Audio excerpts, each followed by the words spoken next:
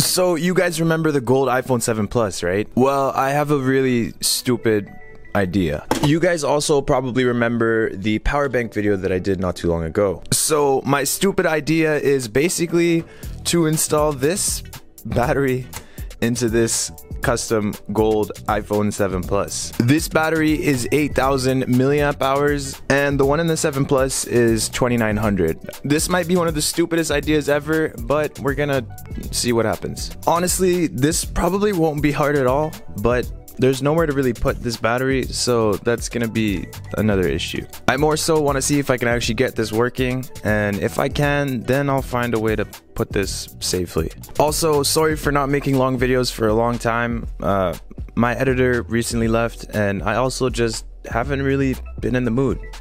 But I am now, so we're back. So we have to cut off this black wire. The red one's already off. So we're just gonna give this a snip snip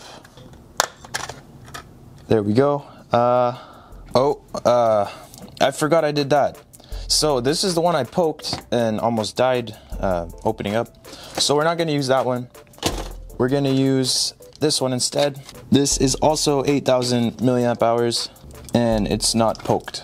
So we're going to cut off the black wire and we're gonna cut off the red wire. So we have the battery removed. Now we have to remove the battery inside the actual phone. So we're just gonna open this up. There we go. Gonna have to unscrew a few things. We need to get this battery removed. Just gonna pry up on the battery. I didn't glue it down too hard, so shouldn't be hard at all. We still have the Apple logo mod behind here, so we have to be careful. Otherwise, we lose Apple logo mod. And I wouldn't want to do that. Remove the battery. So we have to get the BMS board uh, off of this battery. So we're just going to peel this down and we want to reveal the BMS board. Ow, that hurt. There we go. We're just gonna kind of rip this off here.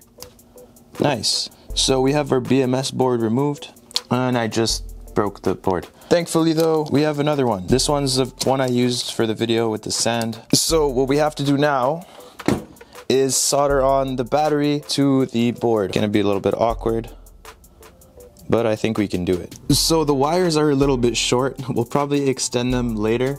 I just really want to see if this will work. What we have to do is we have to solder the wires to the board. This mat is also heat resistant, so you can solder on it, you can do whatever. Link for this is in the comments and the description. We're gonna preheat and just get some solder on.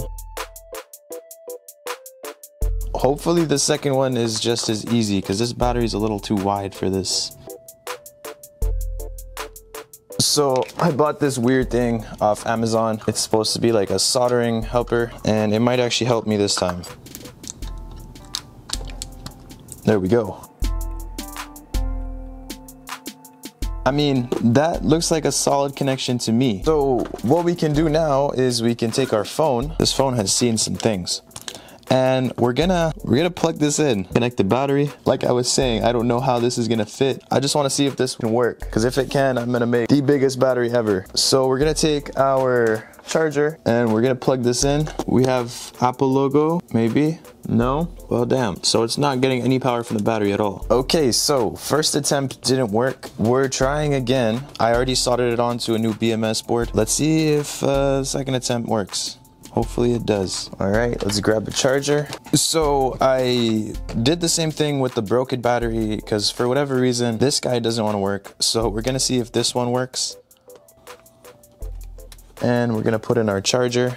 So we just have the Apple logo running continuously, which means it doesn't even recognize that there's a battery plugged in. So it's quite possible that both of these batteries are messed up. I know this one is, but I'm not so sure about this one. So I'm not giving up yet. I'm gonna actually try and desolder the wire from the battery so that I don't have to solder the wire to the BMS board again. So we're just gonna desolder this wire here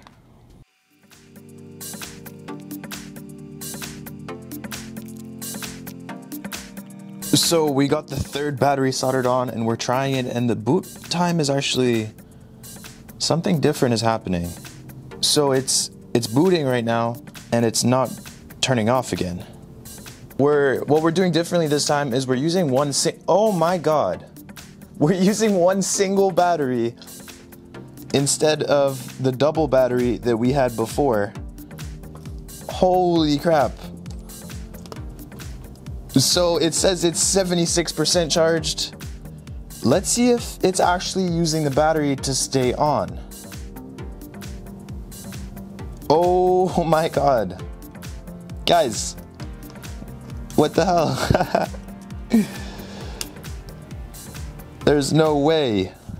How many milliamp hours is this? Okay guys, so after about an hour and a half of messing around, check this out. The phone is running on this 10,000 milliamp hour battery that I pulled from a power bank. The things I can do with this. Just so you can tell, there's no other external sources of power.